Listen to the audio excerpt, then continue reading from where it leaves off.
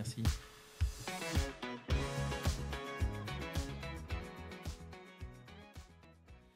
Chères auditrices et chers auditeurs de la robe numérique, je suis ravie de vous retrouver. Cette semaine, on va parler escroquerie financière.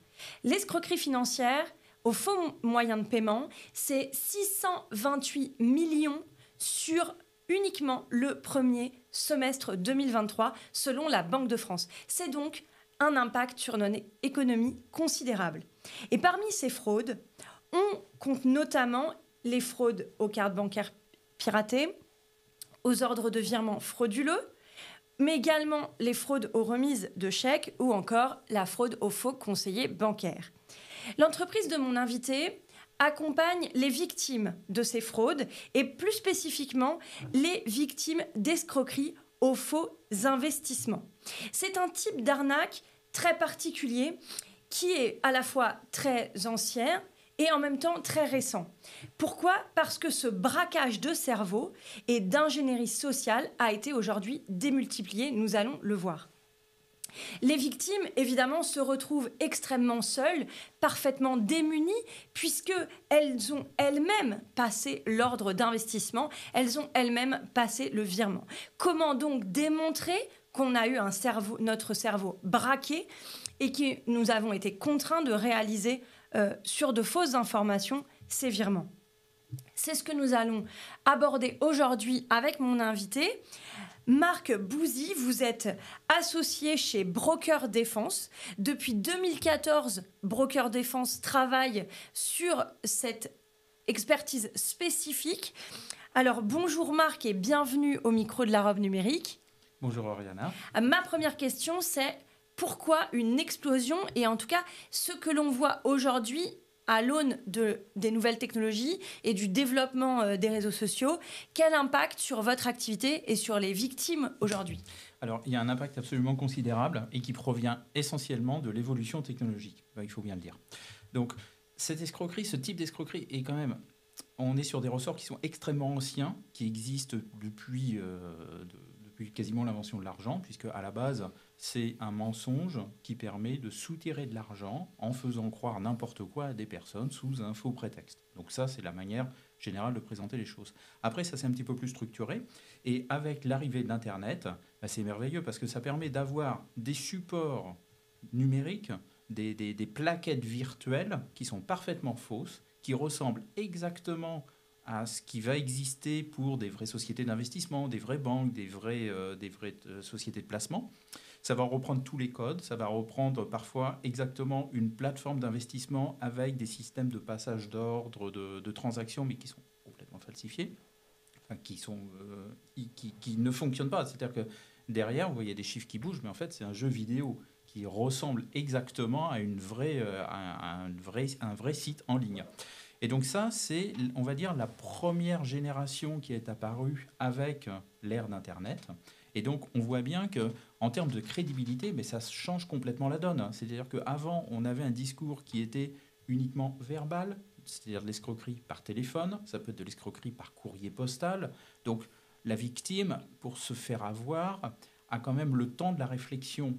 Il y a, un certain délai, on n'est pas dans l'immédiateté, c'est-à-dire que le courrier arrive, il faut le lire, il y a le coup de téléphone derrière, bon évidemment il y a la pression par téléphone, mais quand on a des supports avec la vitesse du mail, avec euh, le site internet qui permet de naviguer dessus, bah, ça change quand même totalement la donne. Donc on comprend que là, on va avoir des victimes qui se font avoir de plus en plus et avec des technologies qui évoluent.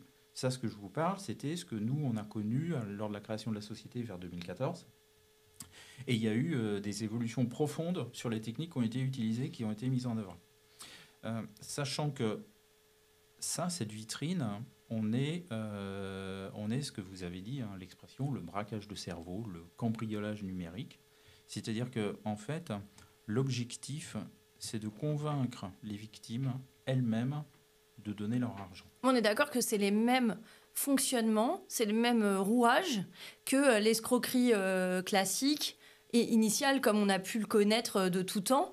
J'ai en tête un, pour moi un casse du siècle incroyable qui était la tentative de vendre en pièces détachées de la Tour Eiffel à, à des revendeurs de fer en disant attention, l'État français est en faillite, il veut revendre la Tour Eiffel au poids du fer en vigueur et faut pas en parler, etc. Avec des courriers euh, République française, quoi. et on est sur euh, voilà un coût incroyable, euh, avec un gain annoncé faramineux, quelque chose de secret, faut faut aller vite parce que sinon l'affaire va nous passer sous le nez. Enfin, c'est finalement les mêmes ressorts qu'on a aujourd'hui avec des moyens différents. C'est exactement les mêmes ressorts psychologiques. L'urgence, l'affaire incroyable, le côté initié. Mm. Et également, ça nécessite tout un enrobage. C'est-à-dire, là, vous faites référence à l'affaire Lustig. Et donc, il y a une, phase de préparation et de mm. ciblage de la victime. Mm. Donc là, en l'occurrence, euh, l'escroc, donc qui s'appelait Lustig, avait ciblé six ferrailleurs différents pour justement essayer de les approcher les uns après les autres. Ces six ferrailleurs étaient quand même assez richissimes. À, l'époque, l'activité de ferrailleurs était euh, extrêmement prospère. Et il en a accroché un qui a été euh, alléché avec des discussions qui étaient secrètes. Le gouvernement veut mettre en vente euh, le, voilà, ce tas de ferraille qui est en train de rouiller. Bon, alors peut-être que ça vous évoque quelque chose en ce moment, mais en tout cas à l'époque, dans les années 20, elle était assez mal entretenue. Et donc ça paraissait totalement crédible. Mm. Euh, et derrière, donc, on voit que cette affaire nécessitait une très forte préparation il faut vraiment le temps du ciblage, mm. il faut la mise en œuvre, il y a les courriers, mais également de nombreuses rencontres en face à face. Oui, il y a une mise en danger quand même de l'escroc vis-à-vis de sa victime parce qu'il est à visage découvert. Il... y a un contact physique, il y a des rendez-vous qui sont pris, on l'invite dans des restaurants prestigieux, il faut montrer qu'on a de l'aisance et de l'argent. Mm. Donc il y a quand même un investissement assez important de la part de l'escroc. Ce qui est aujourd'hui plus le cas finalement avec Internet, plus simple. Ce qui a totalement changé avec Internet. L'investissement, c'est créer un site Internet. Bon, bah maintenant, un site Internet euh, voilà, mm. pour quelques centaines d'euros, vous achetez des modèles euh, et puis en, moins de 24 heures, vous avez un site internet. Alors bon, plus ou moins bien fait. C'est sûr que pour avoir un site avec une plateforme de passage d'ordre derrière, c'est quand même un investissement un petit peu plus lourd mais c'est pas fondamentalement, on n'est pas sur la même mise en danger. Oui, vulgairement, le ticket d'entrée est pas incroyable. Le ticket d'entrée est malheureusement tout à fait abordable pour les escrocs, ce qui a fait exploser euh, ce, type d'arnaque. Alors, du coup, ce type d'arnaque, euh, on le rappelle, c'est vraiment euh, donc faux investissement. Donc, moi, je suis, je reçois une publicité en me disant si vous placez de l'argent à tel endroit, vous allez recevoir un rendement de X dizaines de, de, de pourcentage. Donc, ça fait rêver quand on voit aujourd'hui les taux d'intérêt. Et du coup, il y a des éléments quand même qui vont euh, m'embarquer pour me donner confiance. Donc, on va retrouver euh, des logos euh, de banques ou de banques centrales, des citations d'investisseurs incroyables. On, va quand même avoir un, un affichage marketing hyper fort. Exactement. En fait, il y a une première phase qui va être la phase de ciblage des prospects. Ils vont être, ils vont être accrochés avec des sites plus ou moins euh, véridiques, avec des fausses publicités, pour déjà avoir un premier, euh, euh, on va dire, une présélection qui va permettre d'avoir un espèce de vivier à, cibler, à targeter de manière beaucoup plus précise par les escrocs. Et après, l'approche se fait effectivement avec du support numérique, avec des sites, mais également avec un soutien par téléphone. Et en fait, l'essentiel du discours, parfois quand on voit le site, on se dit, mais voilà, ce site, il ressemble à rien. Comment on peut se faire avoir avec ça? Oui, mais en fait, on peut se faire avoir parce qu'il n'y a pas que le site. Il y a le site, il y a eu les emails. Avec les emails, il y avait les pièces jointes. Il y a eu le discours par téléphone. Ça a été travaillé. Ça a pris parfois plusieurs jours, plusieurs semaines. C'est pas venu d'un seul coup. Au début, ça commence avec un petit investissement. On met 100 euros, 250 euros pour commencer. Forcément, les 250 euros, ben, on suit les conseils, on est formé entre guillemets par la personne au téléphone, on voit que ça marche, on fait, on fait 17 euros de gain, de profit, on essaie de retirer les 17 euros, on les retire, on les récupère sur son compte bancaire, on se dit mais ça marche, très bien. Et puis derrière, on remet un petit peu d'argent, on remet 2000. 2000, ça marche toujours. On fait 200, 220 euros de gain. on est toujours dans le, dans, dans le restaurant du vendeur de Tour Eiffel, là. Euh, là, il offre le dessert et il offre l'apéritif à la fin. Et là, si on essaye de, de retirer l'intégralité des sommes mises, en général, ça marche. Ça fonctionne parce qu'en gros, c'est le seuil sous lequel ils sont. En fait, ils déshabillent euh, Paul pour habiller Jacques et ainsi de suite, quoi. Bah, même pas, ils rendent en fait. Ils, rendent. Alors, ça ne marche euh, que si que s'il il, il, pense que la victime va remettre va remettre derrière. Ok. Et donc, ça marche parce que la, la victime remet toujours derrière. Mhm. Voilà. Et donc, après, la victime remet 10 000, 20 000, 50 000. Et donc, forcément, euh, c'est quand on arrive à ces montants-là, après, ça navigue à vue. C'est-à-dire qu'ils vont essayer de cibler des victimes qui vont avoir des projets d'investissement de long terme. C'est-à-dire laisser l'argent fructifier pendant 6 mois, 1 an, 2 ans. Comme ça, ils n'y touchent pas. Et donc, tant qu'ils n'y touchent pas, il ne se passe rien. Mhm. Et parfois, il y a d'autres stratégies. Ils peuvent être un petit peu plus pressés, un peu plus gourmands. Si vous avez 10 000 euros, bon, bah, c'est très bien. Maintenant, il faut passer dans la cour d'écran, monsieur. Il ne faut, pas se laisser abattre. Il faut y aller. C'est, euh, vous savez, à New York, l'argent dort jamais. Donc là, il faut mettre 50 000, il faut mettre 100 000. C'est, euh, on a vraiment une vraie pression qui commence à monter pour, euh, on va dire, rincer la victime dans un laps de temps extrêmement court. Et donc, quand la victime arrive au bout, et le bout, c'est le moment où elle fait une demande de retrait importante. Donc, quand la demande de retrait est conséquente, 10 000, 20 000 euros, 50 000 euros, ou euh, l'intégralité du capital, ou alors l'intégralité des, gains, ah ben là, ça coince. Mais après, j'imagine que sur, euh, sur ces sites, on retrouve à chaque fois les mentions euh, comme quoi la perte en capital est toujours possible. Alors ça, on va retrouver ces mentions-là. Et donc on retrouve des informations qui sont des informations obligatoires auprès d'investisseurs particuliers. donc là, ma question est, du coup, face à ça, on a une victime enfin, on a une personne consciente de faire un investissement, entre guillemets, avec un risque. Euh, elle le fait sciemment. Il n'y a pas de chantage, il n'y a pas de pression. Euh, il y, a, des techniques manipulatoires. Voilà, alors justement, j'y viens. Mais par contre, on a, bah, il n'y a, pas de pression dans le sens où si on le fait pas, on va, euh, il va nous arriver malheur. Mais il y a une pression, il y a, y a une pression, une manipulation de la victime avec euh, l'urgence. Avec l'urgence, avec du mensonge avéré. Donc, par exemple, il y a eu quelques années, la, le grand support d'arnaque, c'était la mise sur le marché de la Française des Jeux. Mm. avec les actions de la Française des Jeux. Donc, il y avait une, vente d'actions de la Française des Jeux avec un tarif préférentiel. Alors évidemment, mm. les personnes qui investissaient là-dedans n'ont jamais eu d'action de la Française des Jeux, mm. autre que sur un écran où il n'y avait rien derrière. En fait, tout doit ressembler exactement aux pratiques des vraies sociétés. Donc les mentions légales seront exactement les mêmes. Ce sera absolument impeccable. Les contrats, c'est des contrats qui vont faire 40 pages avec des clauses incroyables qui sont parfois mieux faites que les vrais sites, même parfois même mieux faites que les vraies banques. On a certains sites d'investissement où euh, quand on voit certains sites de banque, on se dit bon bah, voilà, euh, la banque devrait aller les copier parce qu'ils sont quand même vachement mieux que celui de la vraie banque. Mais sauf que le problème, c'est que derrière, il n'y a pas de personne morale. Oui, c'est un fantôme. C'est un fantôme. C'est juste un nom sur un écran. Il n'y a jamais eu de société à ce nom-là. Alors justement, euh, dans cette situation-là, quand on est face à ça, qu'on est la victime euh, euh, d'une situation comme ça, comment vous, chez Broker Défense, vous arrivez à les accompagner et à les aider à faire valoir vos droits? Parce que, en fait, vous travaillez avec des partenaires, on va en parler, mais comment, matériellement, comment ça se passe? Quelle est votre intervention? Alors déjà, quand on voit une histoire qui nous arrive, on va regarder les éléments et on va démêler le faux du vrai. C'est-à-dire que le site internet, la présentation, le discours, les 3%, les 5%, euh, d'ailleurs, on n'est pas forcément sur du taux d'intérêt excessif hein, en termes de rendement. On, on, est parfois sur du taux d'intérêt qui est correct, mais sans plus. Donc pour garder la vraisemblance. Et en fait, il y a un point où la vraisemblance disparaît, et c'est le point charnière de toutes ces escroqueries, c'est au moment du paiement.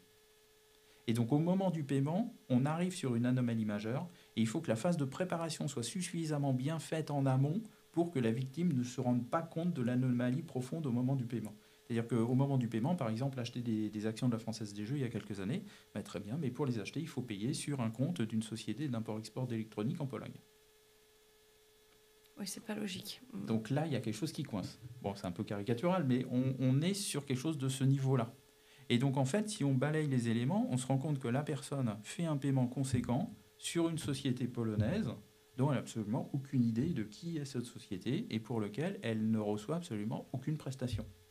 Donc, on a une victime qui est en conflit avec une société, euh, société enregistrée en Pologne.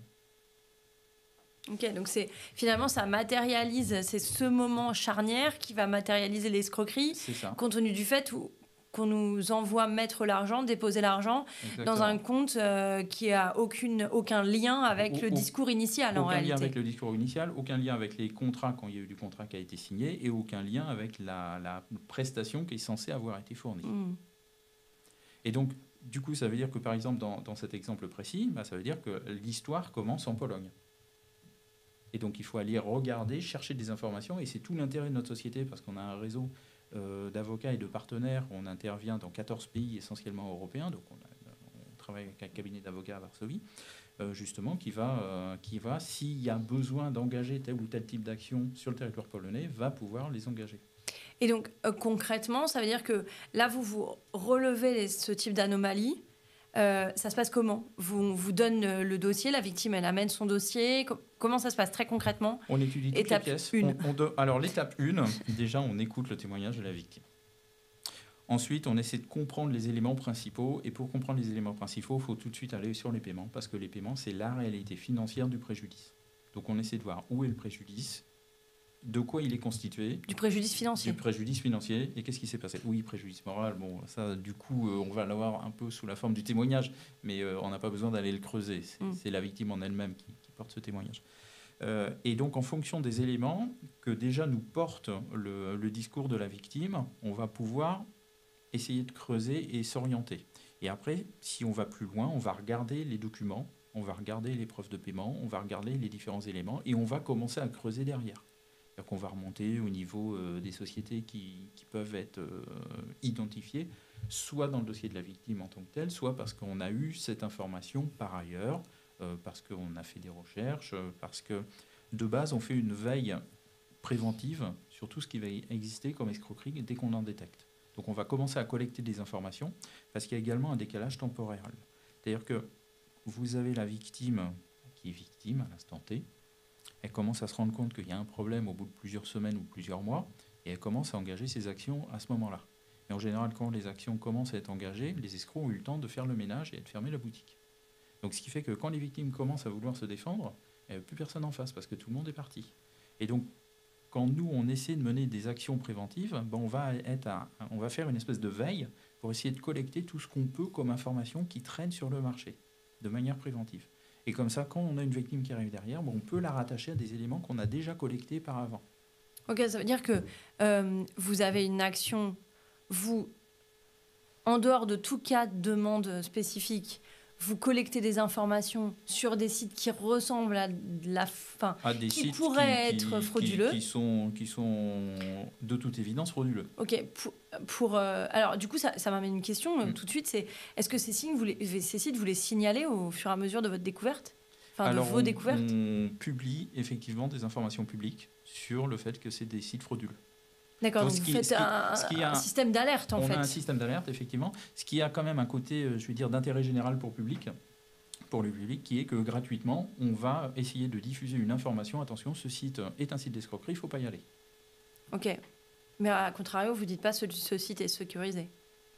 Euh, bah non, parce que ça ne nous intéresse pas. Ok. Du coup, ça veut dire que euh, sur, euh, sur la démarche, donc pour que je comprenne bien, euh, finalement, vous, vous avez une veille qui vous permet, lorsqu'une victime arrive, de rattacher cette victime à un cas que vous avez potentiellement déjà identifié. Donc j'imagine que vous avez collecté à ce moment-là un certain nombre d'informations sur le lieu de création de l'entreprise, les éléments qui... On a pu effectivement commencer à collecter certaines informations. mais ce qui est également une force, c'est de pouvoir mettre en commun et en réseau les récits des différentes victimes où chaque victime va nous apporter une facette de la même histoire. Et souvent, les récits vont se compléter et on va pouvoir euh, bah, mutualiser en fait les éléments de chacune des victimes et d'avoir une défense beaucoup plus efficace. Ok, alors justement, si on revient à vos partenaires, euh, vous, vous donnez des preuves euh, matérielles finalement de, l'histoire qui est racontée, de la fraude telle qu'elle s'est constituée. vos partenaires, alors par exemple, sur le constat, quand on a préparé l'émission, euh, vous me parliez de ChainNote avec lequel euh, vous collaborez. Euh, justement, ces partenaires-là, ils permettent de structurer et de rendre opposables les preuves que vous aurez trouvées. donc là, ChainNote, c'est pour réaliser un, constat d'huissier. Hum, du coup, le réseau de partenaires, vous parliez d'avocats. Est-ce que vous avez d'autres euh, partenaires euh, au sein, euh, avec qui vous collaborez? Oui, alors en fait, on a toute une série de partenaires. On va avoir donc des partenaires qui vont avoir une expertise technique très précise, comme ShareNote, qui nous permet de faire un constat sur les sites internet d'escroquerie avant qu'ils disparaissent. Et après, on va utiliser, on constitue une bibliothèque de sites d'escroquerie, et on va utiliser bah, les sites. Quand une victime vient nous voir, me dit bah, euh, il n'y a plus rien, le site a disparu. Oui, mais nous, euh, on regarde dans notre bibliothèque, peut-être qu'on a déjà un constat qui traîne. Donc si on a un constat, c'est bon, la victime pourra en bénéficier. On va également euh, travailler avec des détectives, parce que quand on recherche des informations sur ce, genre de site ou ce genre d'affaires, la plupart des informations qu'on va collecter, c'est de l'information, on va dire, négative. C'est-à-dire qu'on va aller voir et on va indiquer que, par exemple, cette information n'existe pas. C'est-à-dire que cette personne est une personne fictive, c'est un personnage de fiction. Cette adresse n'existe pas. Il n'y a pas de telle société de ce nom à telle adresse. Mais parfois, quand on tombe sur des vrais éléments et qu'on a besoin de réutiliser, de faire ressortir dans le cadre d'une procédure ces éléments-là, bah forcément, on va passer par un détective qui a tous les agréments qu'il faut pour aller faire une action de terrain. c'est de l'enquête privée, en fait. De l'enquête privée, tout à fait. D'accord. Et donc, avec ces éléments-là, euh, vous apportez ça à des avocats Oui. Euh, à des magistrats Oui. À des enquêteurs euh, gendarmerie, police oui. Euh, comment vous vous intégrez dans cet ensemble judiciaire Enfin, au moment où, où, la situation est prise en charge par l'ordre judiciaire, comment vous vous intégrez Quels sont vos échanges avec avec le personnel en question? On intervient euh, en amont où on prend les récits des victimes, on va le structurer de telle manière à ce qu'il soit beaucoup plus efficace dans le cadre notamment d'un dépôt de plainte si on est dans le cadre d'une procédure pénale. C'est-à-dire que si la victime vient avec son histoire de plateforme, avec une adresse bidon en Angleterre, etc., ou de, société ailleurs, bah, forcément, il va, ça va attirer peu, euh, il, y aura il y a une forte chance que l'affaire soit classée sans suite assez mm. rapidement. Oui, parce que c'est trop difficile en fait. Bah, c'est trop difficile et en fait, la victime va commencer à présenter toutes les fausses pistes en premier. Donc du coup, ça va prendre un temps considérable de nettoyer le dossier, ça va être une perte de temps colossale pour les enquêteurs et du coup, bon, bah, ils vont aller au plus pressé. Alors que si on arrive, on leur dit, euh, bah, tout de suite, vous avez tel élément qui est réel et qui a été enrobé par tels autres éléments qui sont des éléments fictifs, bah, du coup, ça permet déjà de s'orienter, parce que forcément, ils vont vérifier euh, l'ensemble, mais ils vont tout de suite aller vérifier l'élément réel. Après, ils vont balayer, évidemment, les éléments fictifs. Mm. Hein. J'imagine pas qu'ils vont prendre notre... Euh, non, il faut fermer les portes. Voilà, il faut, faut, fermer les portes, évidemment. Euh, et, et, donc, en fait, à ce stade-là, dès que, dès que ça commence à monter, on travaille avec donc, des cabinets d'avocats qui vont également prendre le relais s'il y a besoin d'avoir une constitution de partie et qui vont être les interlocuteurs des enquêteurs. Et donc, c'est les avocats qui vont être nos interlocuteurs. Et on va leur fournir les éléments à leur demande s'ils ont besoin. Ou ça peut être parfois des enquêteurs qui vont nous contacter en nous disant bon ben voilà je suis en train de travailler sur tel dossier. Est-ce que vous avez des éléments? Donc nous on va regarder ce qu'on a et on va tout leur euh, tout leur envoyer. D'accord. Et quand euh, on démarre un dossier faut, ça prend à peu près combien de temps d'avoir euh, ce dossier structuré? Là, je viens vous le voir, on est, on va dire, le 1er avril. Alors, ça dépend du dossier. ça dépend du dossier. Euh, disons que. En moyenne, une fourchette En moyenne, oui. Euh, disons que si c'est un dossier qu'on a déjà plus ou moins travaillé, il va falloir quelques jours, donc je dirais maximum euh, une à deux semaines. Et si on est sur un dossier qui est assez lourd, dans lequel il n'y a pas grand-chose, et on a besoin, besoin de vraiment mutualiser des, des éléments sur de nombreuses victimes, là, il faudra compter peut-être 4-6 semaines. Oui, donc c'est quand même un temps euh, raisonnable. Ça fait quand même moins d'un trimestre pour constituer euh, un, dossier structuré qui est prêt à être déposé euh, auprès des forces de l'ordre. Le, ensuite, donc, vous passez la main. si ce sont des, victimes qui ont déjà perdu une partie de, de, leurs économies, parfois mhm. l'économie de toute une vie, hein, c'est dramatique. Euh, le, la mise en œuvre de vos services, est-ce qu'on peut solliciter une prise en charge de la, enfin, par les assureurs? Comment ça se passe euh, d'un point de vue financier pour les victimes? On a effectivement euh, certains de nos clients qui ont une prise en charge de leur protection juridique, notamment. Alors, des, ils doivent d'abord déclarer le sinistre et mhm. après demander si le contrat permet donc la prise en charge sachant qu'en général, on n'a pas une prise en charge intégrale de tout ce qu'on fait, mais c'est plutôt à la carte. Il y a certains éléments qui sont pris en charge, d'autres qui, qui, ne sont pas pris en compte. Il faut compter un budget à peu près de combien Alors, tout dépend, bah, après, tout dépend du type de procédure. Donc, euh, ça, je ne vais pas vous l'apprendre. Donc, euh, en gros, ça commence à euh, quelques centaines d'euros et ça peut aller jusqu'à quelques milliers d'euros. Oui, bah, en fonction de ce que vous avez besoin de déployer pour trouver ça, l'information. Disons que sur la partie purement recherche, préparation pénale, on est de l'ordre de 500 euros. 500, oui, à peu près 500 euros. S'il y a de l'enquête on-chain sur de, de, la crypto, Bon, là, il faut rajouter un budget qui commence à 500 euros, qui peut aller jusqu'à 1800 et parfois, sur mm. certains cas particuliers, c'est vraiment sur devis. Là, on peut monter à 3-4 000 euros uniquement sur de la recherche.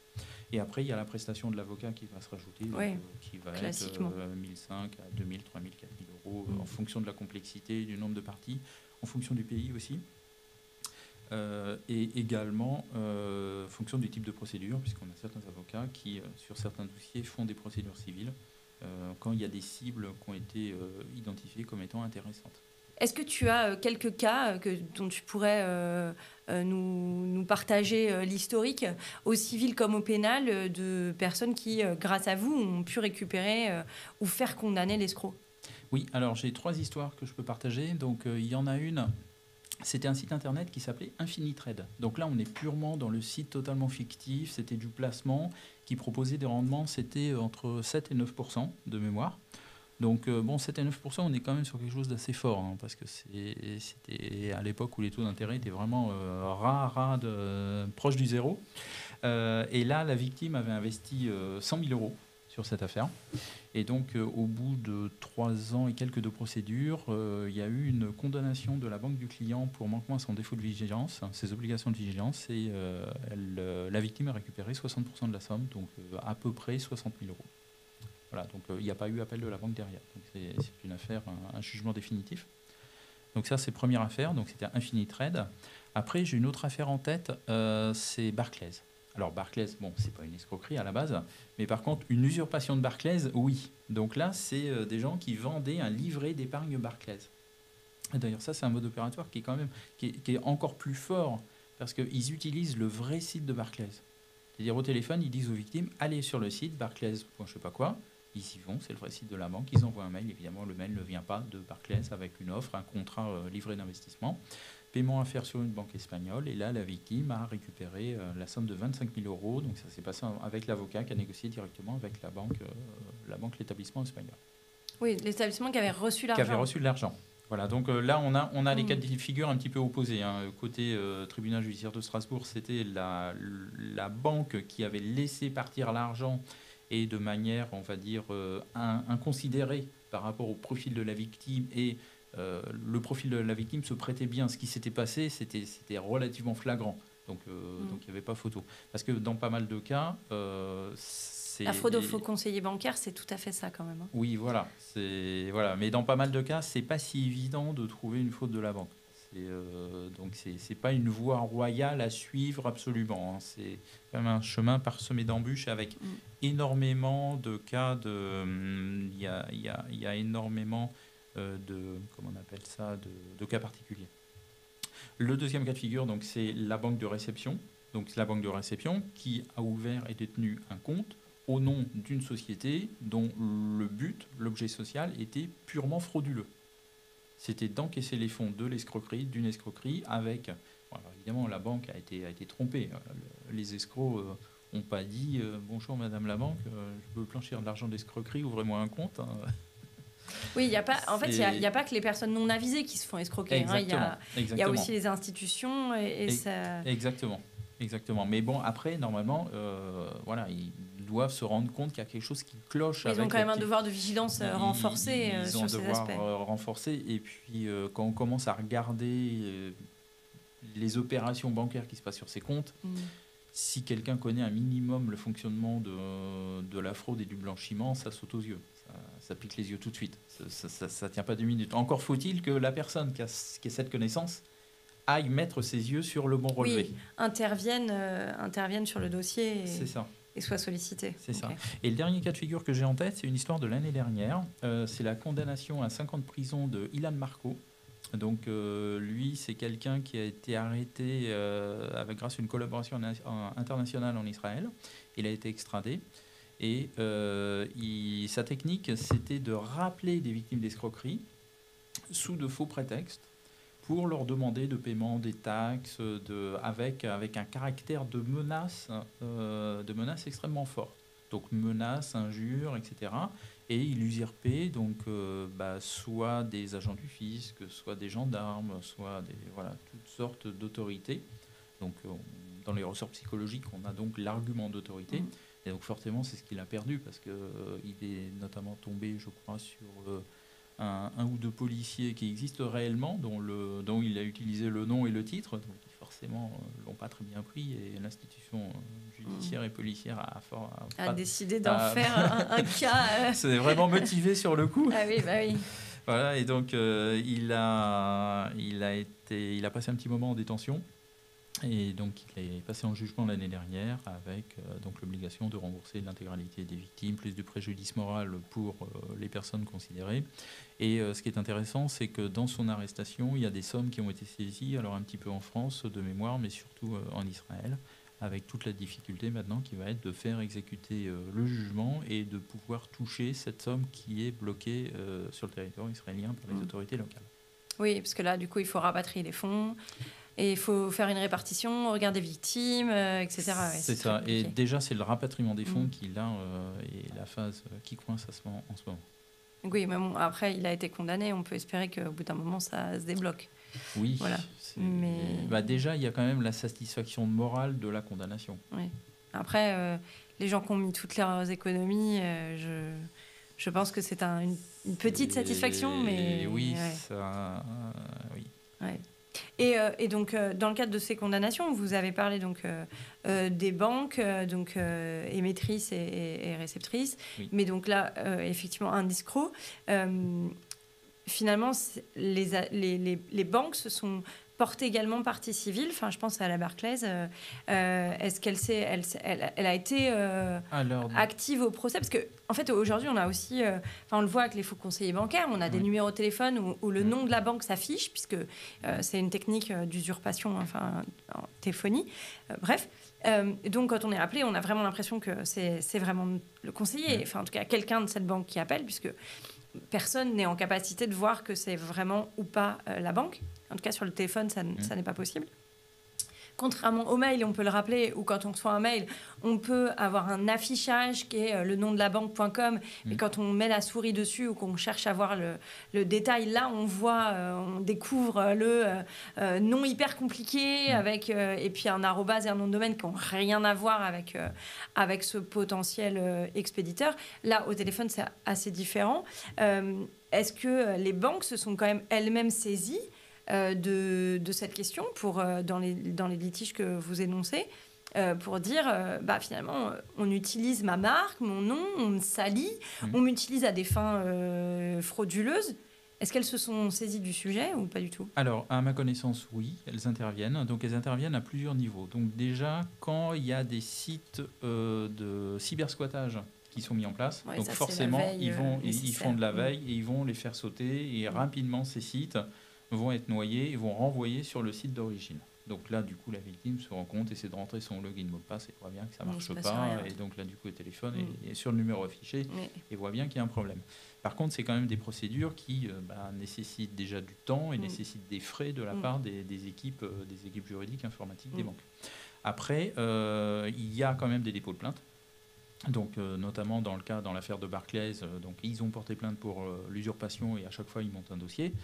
Euh, bon, parfois, ils vont un petit peu plus loin, puisqu'on a travaillé avec euh, certains agents privés de recherche qui euh, avaient été missionnés par certains établissements dans le cadre de certains types d'affaires de ce type.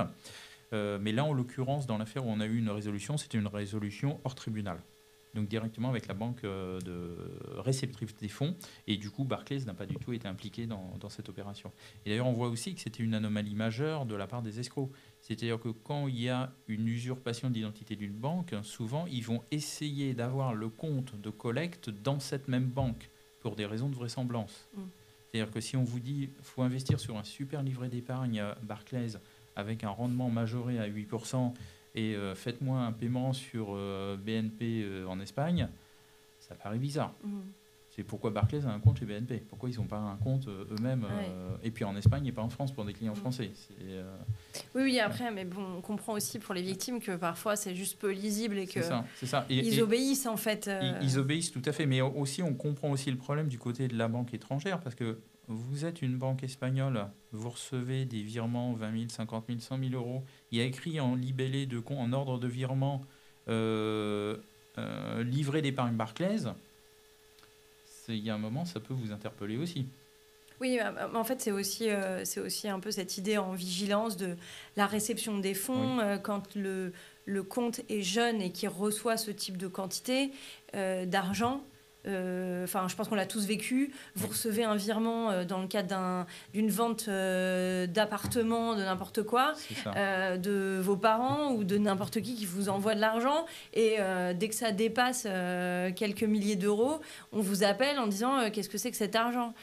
Le contrôle euh, de l'origine des fonds. Voilà, contrôle de l'origine des fonds. Et vous leur dites oui, mais regardez, l'émetteur c'est euh, tel notaire, ça me suffit pas, il me faut le papier. Enfin, Oui. voilà. Donc euh, en fait, aujourd'hui, on a quand même en théorie des garde-fous qui permettent ce contrôle d'origine des fonds. Oui. Euh, et là, ce que vous me dites, c'est que finalement, euh, Ah bah, que ça, saute. C'est- que en théorie, nous dans nos dossiers. Bah moi dans mes banques, ça, à chaque, enfin les peu de fois où j'ai eu le cas, voilà, Bah, malgré le fait que c'était soit fait, une vente, soit un, un achat. Alors, à titre personnel, j'ai eu la même expérience que vous, ce qui sur le coup m'a énervé, mais ce oui, qui- parce qu'on a l'impression, on Voilà. se dit bah pourquoi je peux pas disposer de mon argent comme je veux C'est ça, mais ce qui est rétrospectivement et faisant ce métier, bah du coup je me suis dit bah c'était pas mal. Et s'il le faisait à chaque fois, on n'en serait voilà, pas là. et on n'en serait pas là. Et après, moi, j'ai un prisme qui est un peu différent, qui est que par définition, tous les dossiers que je vois, c'est ceux où ils ne l'ont pas fait. Mhm.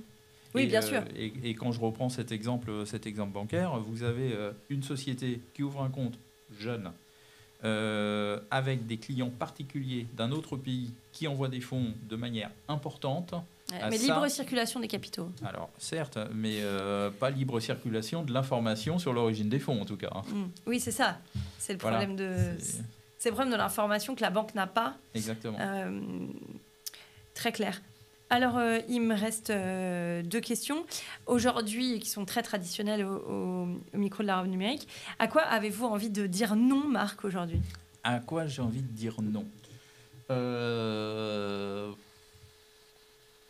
bah, bah, pff, Moi, je suis quelqu'un d'assez optimiste et en fait, j'ai- pas envie de dire non. J'ai- toujours un gros oui dans la tête. Ok, bah alors à quoi avez-vous envie de dire oui?